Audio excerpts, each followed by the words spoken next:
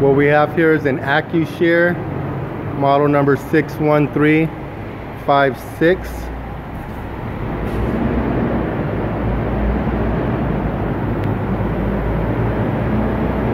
It's wired 440 three phase, 10 horsepower motor.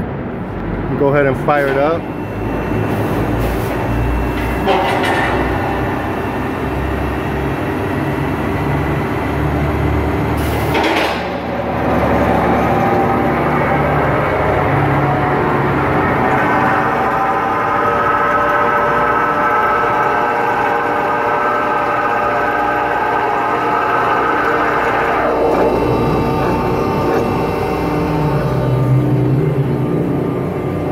Zeroing itself in to one inch.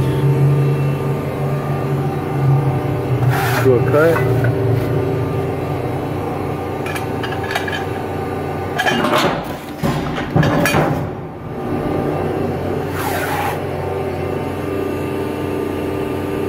Take it back a little.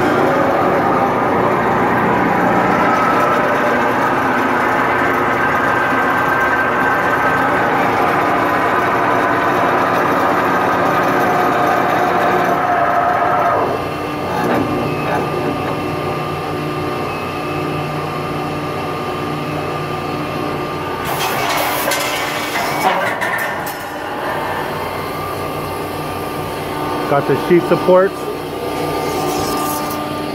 Here's our one inch piece we cut. We're gonna go ahead and measure it.